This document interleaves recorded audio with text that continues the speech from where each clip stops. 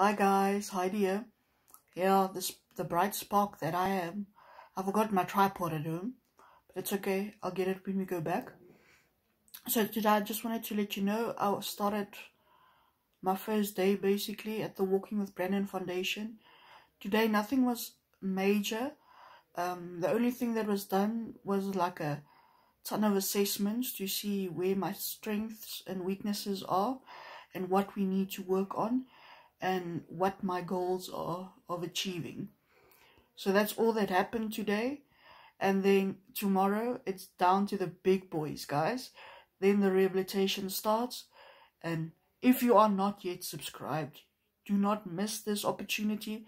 Hit that subscribe button, slap that post notification bell, and make sure you are part of my incredible journey ahead with the Walking with Brandon Foundation.